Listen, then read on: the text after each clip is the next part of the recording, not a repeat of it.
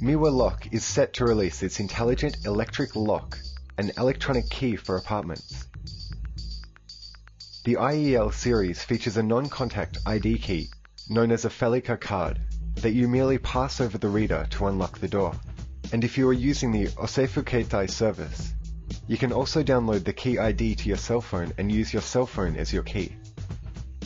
携帯電話を使うと、えー、家のその正常したかということをですね、えー NTT ドコモシステムズのシステムに載せて正常信号を送りますで正常した人は、えーこれが震えることによってまた中に、えー正常しましたという、えー案内がこの中に出ますでそれで確認ができます The IEL is equipped with a control component built into the electronic key and features compact components and a streamlined system to cut device and construction costs.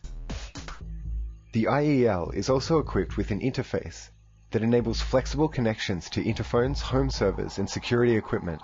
and is compatible with upcoming new services. The security features of the IEL include sophisticated crime deterrent features such as thumb turns and deadbolts, with a blade locking system that can withstand brute force attacks.